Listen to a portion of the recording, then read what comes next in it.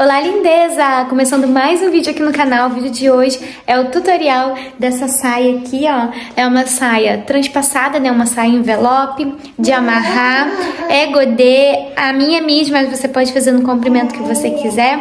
Eu espero que o vídeo tenha ficado de fácil entendimento pra vocês. Tentei explicar da melhor forma possível, então vamos lá, passo a passo. Pra começar, gente vai fazer? Eu tenho aqui uma viscose, mas pode ser qualquer tecido que tenha esse caimento da viscose, sabe? Olha, esse caimento é, leve aqui. Aqui eu tenho um metro e meio. Só que eu tenho 1,55m de altura. E vai ficar uma saia midi pra mim com mais ou menos uns 60 centímetros. E o meu número é 34, 36. Se você quiser um tamanho muito maior que o meu, eu acho que aqui dá pra fazer mais ou menos nesse comprimento. Até aí o tamanho 40, eu acho que dá pra fazer um comprimento um pouco maior que o meu. Do 40 ou mais que o 40, se for o seu tamanho, eu te aconselho a comprar 2 metros de tecido, tá bom? O que, que a gente vai fazer, ó? Isso daqui é um tecido infestado, né? Aqui tá a auréola, como vocês podem ver. E de largura ele tem 1,40. E de comprimento eu comprei com 1,5. O que a gente vai fazer? Em vez de a gente deixar ele dobrado assim, igual ele vem da loja, a gente vai dobrar ele ao contrário. A gente vai pegar aqui a auréola, ó, e vamos dobrar ele aqui, ó. Tá vendo? Aí vai ficar assim, ó. A gente dobra ele pela auréola. E aí, aonde era o corte dele vai ficar aqui na lateral e a, a largura dele vai ser a auréola agora. A gente vai cortar ao contrário, tá? Então, essa largura aqui é da auréola, que a gente colocou ao contrário. E o comprimento e a largura que a gente tinha virou o nosso comprimento. Aqui tá a dobra, ó. Vou só mostrar pra vocês, eu tenho essa saia aqui que eu já fiz, que é nesse modelo. Vou colocar a parte da dobra dela pra lá onde tá a dobra.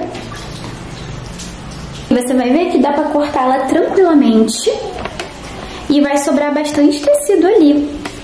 Mas é necessário que seja assim por conta do comprimento. Ela tem um comprimento limitado aqui, ó. Aqui tá o cós da minha saia e ela é esse godê, tá vendo? Ela é todo isso aqui que dá esse godê. Tudo isso aqui, ó, é barra. E aqui é a cintura. Então, se eu quiser ela mais comprida, vai ter que ser pra cá. E aqui eu tenho um limite que eu posso deixar ela mais comprida, no máximo 10 centímetros a mais. Ela de largura de cintura, fica sossegado que dá. É mais o comprimento.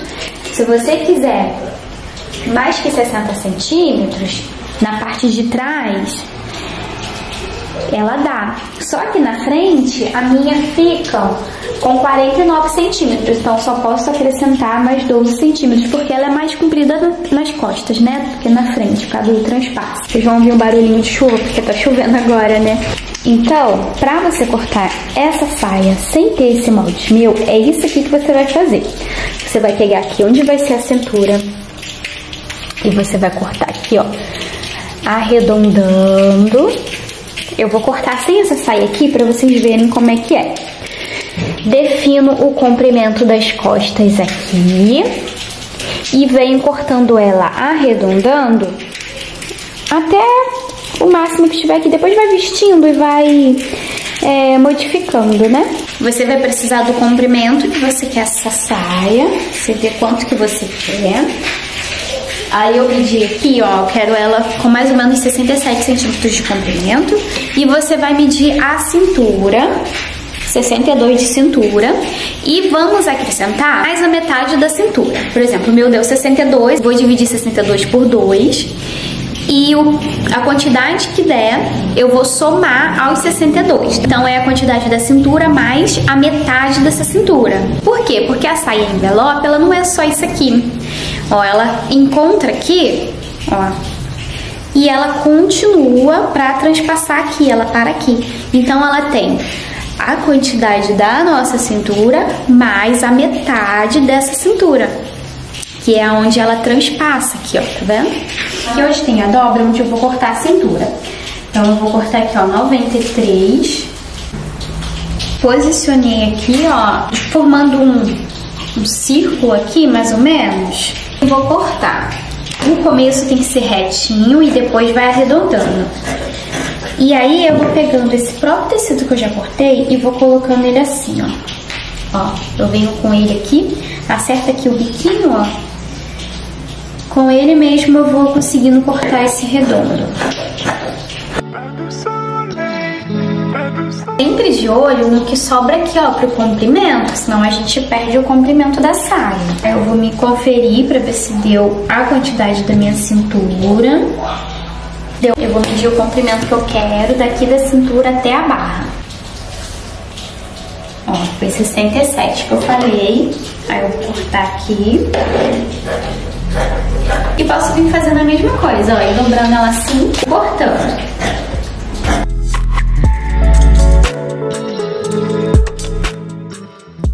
Aqui, ela não vai ter mais o mesmo comprimento, porque a frente vai ficando mais curta para poder fazer o transpasse. A não ser que você compre mais comprimento, igual eu falei pra você que aqui na frente ela fica assim com uns 49 centímetros. Então, se você quiser mais comprida, você compra 2 metros, 2 metros e meio, 3 metros, você vai conseguindo fazer ela toda do mesmo comprimento. Mas eu gosto dessa parte mais curta na frente, né? Fica tipo um mullet. Aí aqui eu vou só acertar, pra não ficar esse bico aqui, ó, cortar redondo.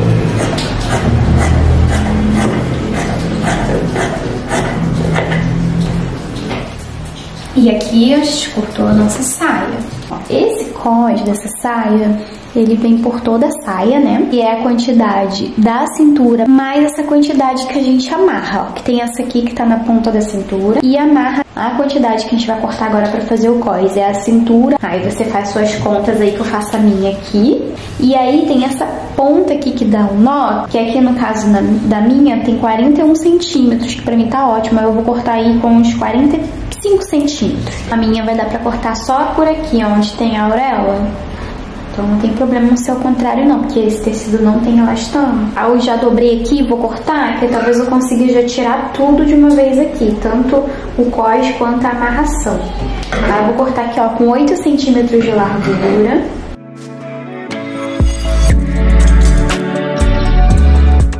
Cortei, agora eu vou tirar a cintura. Lembra que tem que deixar 2 centímetros para costurar para dentro nas pontas. Vou tirar aqui.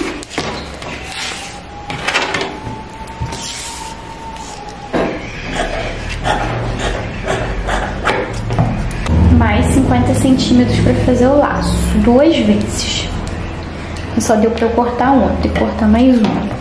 Aí corta dois para fazer dois pedaços de 8 por 50 centímetros para fazer o laço. Vou começar o passo a passo. O próximo passo é o seguinte, vai pegar aqui, ó, nessa abertura da frente e vamos fazer essa bainha aqui, ó.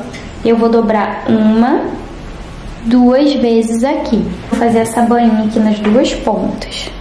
E já vou aproveitar lá na máquina também e já vou fazer essas duas partes aqui, que é o laço Vou dobrar ó, ao meio, deixando o avesso pro lado de fora, guardando aqui dentro o lado certo do tecido. Vou passar uma costura de fora a fora, juntando essa dobra. E aqui na ponta eu vou fazer uma costura assim, ó, retinha, para poder ficar com o acabamento aqui nessa ponta. E vamos desvirar isso daqui, esses dois. Aí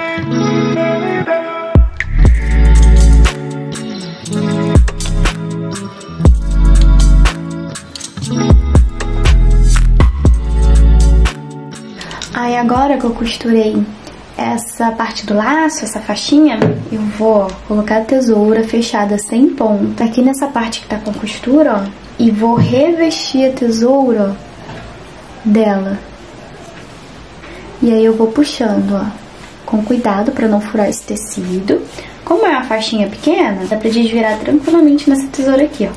Até sair a ponta aqui. Saiu a ponta aqui, eu seguro essa ponta, tiro a tesoura e venho puxando aqui nessa pontinha aos poucos, ó.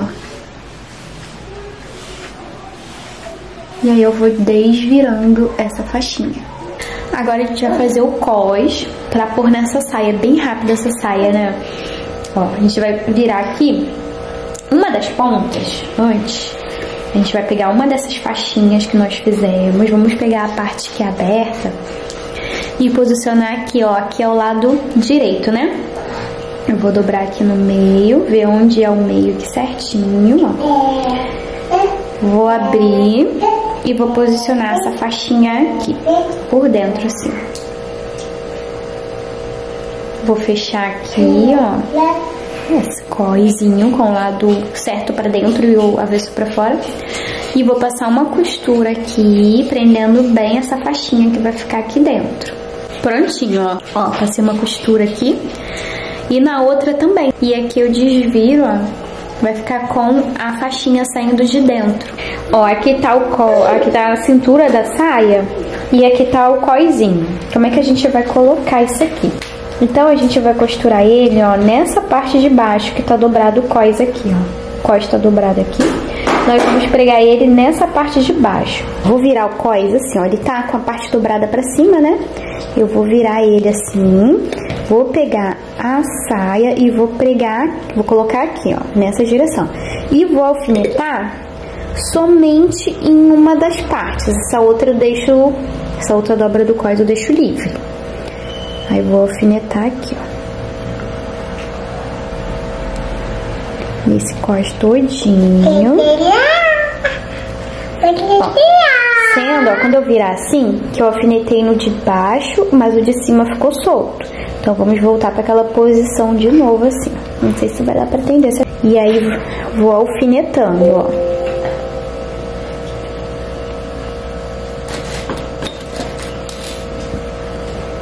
Até a outra ponta da saia. Agora a gente vai passar a costura prendendo essa saia nesse cós, deixando essa outra parte do cós solta por enquanto.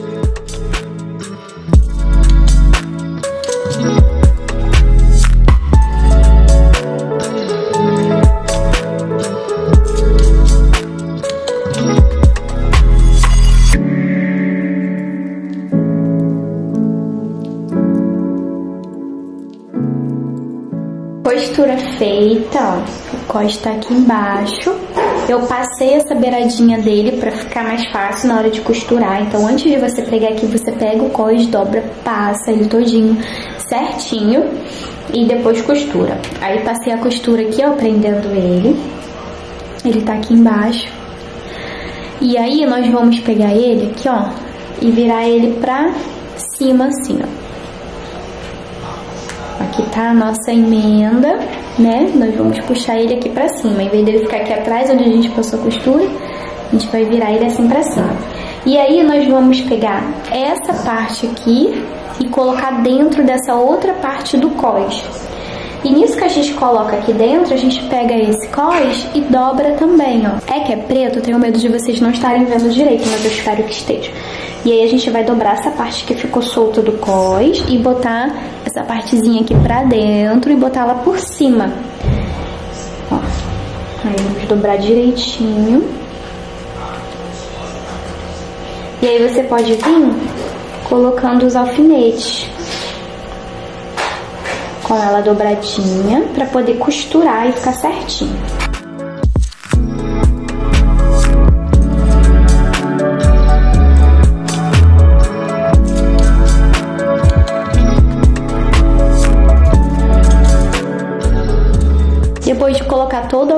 A gente vai bater costura em cima dessa dobrinha aqui para poder deixar ela com acabamento bonitinho, prespontado.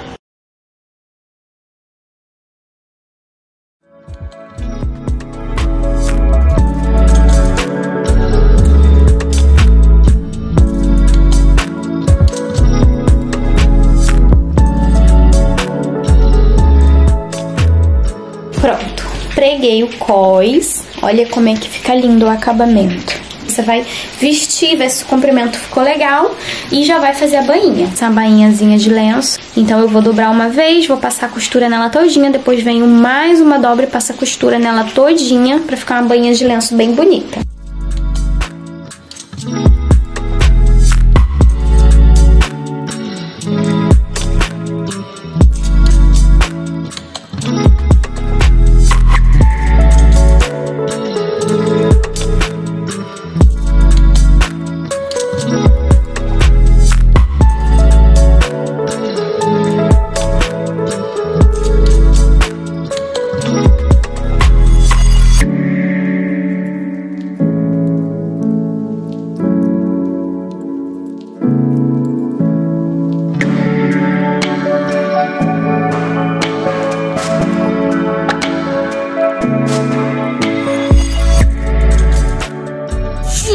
Muito que vocês tenham gostado desse tutorial.